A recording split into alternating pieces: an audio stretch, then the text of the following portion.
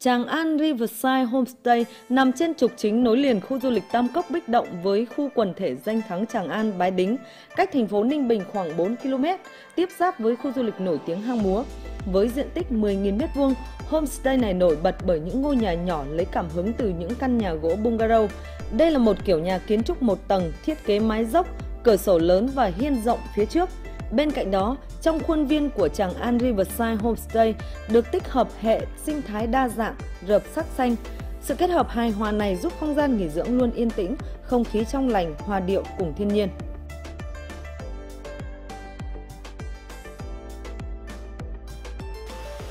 Quý vị và các bạn, chỉ mất khoảng 10 phút lái xe từ thành phố Ninh Bình thì hiện tôi đang có mặt tại một khu nghỉ dưỡng nằm ở trung tâm du lịch của tỉnh, xã Trừng Yên, huyện Hoa Lư.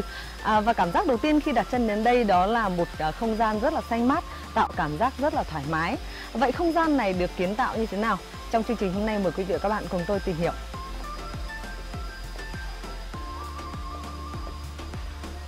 Em chào anh ạ. Chào em. Dạ. Anh đang à, cắt tỉa cây phải không ạ? Anh chăm sóc cắt tỉa cây. Khi mà bước chân đến đây thì em cảm giác ờ, rất là ấn tượng với cái không gian này. Anh có thể chia sẻ một chút về cái ý tưởng ban đầu của anh không ạ? Nằm trên cái quần thể danh lam thắng cảnh Tràng An thì anh có cái ý tưởng là xây dựng một khu ờ, du lịch sinh thái để cho khách du lịch về kết hợp khi người ta đi du lịch người ta về đây người ta vừa kết hợp nghỉ dưỡng Vâng. vừa ăn uống những đồ ờ, hoang dã của đồng quê Ngoài cái ấn tượng về cái phong cảnh trong cái khu sinh thái thì em thấy rằng là cái vị thế của cái khu nghỉ dưỡng của anh cũng rất là đắc địa. Phía sau là tượng núi và phía trước là sông Hoàng Long. Anh có thể chia sẻ thêm về cái ờ, việc mà chọn cái vị trí này không ạ? ừ thì vì mình ờ, làm sinh thái thì ờ, nó phải có cái ờ, mang tính chất là nó hoang dã ờ, gần ờ, núi gần sông nó có sông có núi thì ờ, mình làm sinh thái thì nó thuận lợi hơn rất nhiều Em thấy rằng là các cái chất liệu để làm ờ, cái ờ, các cái phòng ấy thì ờ, được lập bằng mái tranh cái ý tưởng này là như thế nào anh? Trước khi để mà làm một cái ờ, khu du lịch sinh thái thì ờ, mình cũng có một số những cái ý tưởng. Ví dụ như là bây giờ cuộc sống ờ, khách du lịch thì hiện đại nhiều rồi. Ừ. thì bây giờ người ta muốn xu thế về quay về sinh thái. Ừ. sinh thái thì mình phải làm những cái gì nó thân thiện với môi trường trước mắt. Hai nữa là khi đi du lịch thì người ta cảm tưởng một cái cái cái không gian nó khác biệt so với lại những cái hiện đại. Đấy ví dụ như là nhà gỗ mái lá đấy, bể bơi thì rộng mà có bể bơi cho trẻ em riêng Ừ. để cho khách du lịch vào đây trải nghiệm một số những cái hình thức nó không phải giống như là những cái thành phố hiện đại Cái lá mà anh lập trên ấy đây là lá gì ạ?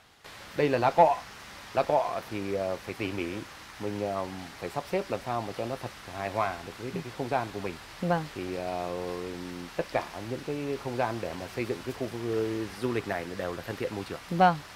Anh có thể đưa em tham quan thêm một số những cái điểm khác không ạ? Được anh mời em đi Dạ.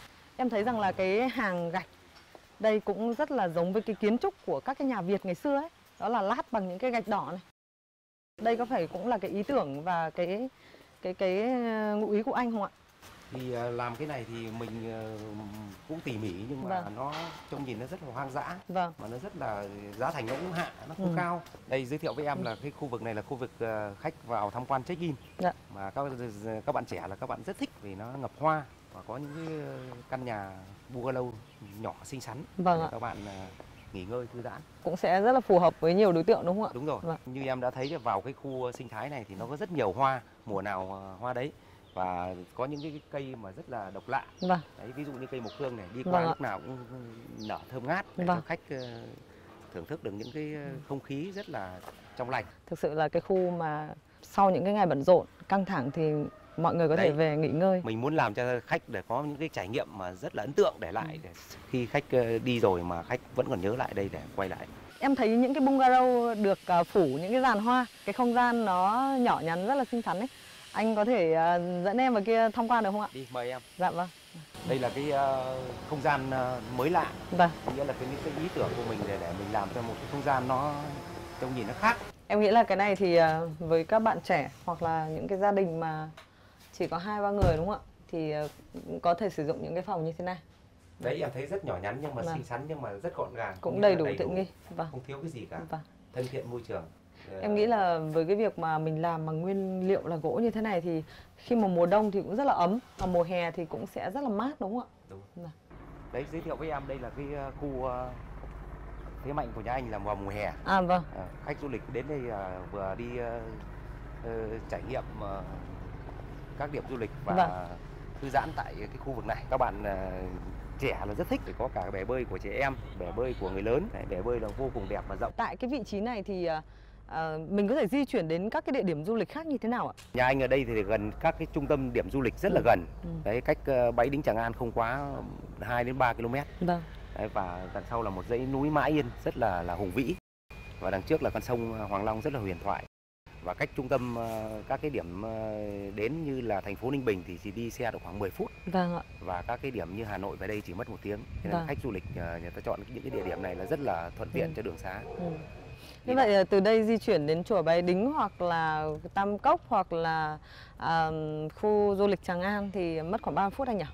Thì từ đây mà đến ờ, các cái điểm du lịch thì ví dụ như là Bãi Đính thì mất được khoảng 5 phút Ừ. và sang khu Tràng An mất được khoảng 5 phút. Hình như là anh cũng đang tiếp tục mở rộng à, cái không gian nghỉ dưỡng này đúng không ạ? Đúng rồi, anh còn đang hoàn thiện để cho nó đồng bộ cho khách du lịch vào đây chơi người ta có những cái nhiều những cái cái cái ờ, trò chơi để nó ờ, đỡ nhàm chán. Vâng ạ. Đấy, kết hợp với lại các cái điểm du lịch ở đây thì mình còn phải làm những cái cái cái cái ờ, khu vui chơi cho các cái ờ, khách du lịch đến ví dụ Ừ. như khu chơi trẻ em Ừ. khu nhà bóng Ừ.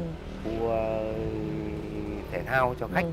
Các cái nhà gian à, để phục vụ khách du lịch em thấy là anh thiết kế nó khá là thấp và khá là gần gũi với thiên nhiên. Đây có phải là cái cái ý định của anh để giúp người giúp du khách gần gũi với thiên nhiên hơn đúng không ạ? Đúng rồi. Ừ. Thì trong cái ý tưởng này thì mình làm làm sao mà để cho cái không gian nó phù hợp, Ừ. phù hợp trong cái cái cái, cái kiến trúc của cái Ừ. khu du lịch Ừ. thì mình cũng không làm cao quá mà cũng không làm thấp quá để làm Ừ. sao nó phù hợp vừa phải với lại ờ, cho cho cho người ta nhìn vào người ta rất là là là là thích. Tức là khi ngay cả khi trong phòng thì người ta vẫn có thể quan sát và có cái cảm giác là hòa nhập với thiên nhiên. Ngoài cái ờ, cung cấp cái dịch vụ về ờ, chỗ nghỉ và ăn uống thì anh còn cung cấp dịch vụ gì nữa không ạ? Ngoài cái dịch vụ về ví dụ như là khách đến đây thư giãn thì là có bể bơi và có những xe đạp trải nghiệm và có những cái khu ờ, cầu lông và có những cái khu vui chơi ví dụ như là chơi khu ờ, team building và chơi gala là đều đều, có cái khu để cho khách đến đây để trải nghiệm để ờ, nhất là khách đoàn khách tập thể là có những cái khu vui chơi rất là sinh động. Xu hướng của người dân bây giờ khi mà cái tốc độ đô thị hóa nó ngày càng nhanh thì có phải là ờ, các cái du khách của anh càng muốn tìm về những cái nơi mà nó gần gũi với thiên nhiên đúng không ạ? đúng rồi. Khách bây giờ thì người ta sống ở cái khu đô thị thì ừm, người ta cũng thấy những cái hiện đại nó nó nhiều rồi. Cho nên là bây giờ người ta cũng tìm đến cái, những cái khu sinh thái để người ta thư giãn để người ta nghỉ ngơi để người ta ờ, có những cái ngày đi du lịch nó trải nghiệm nó khác lạ đi.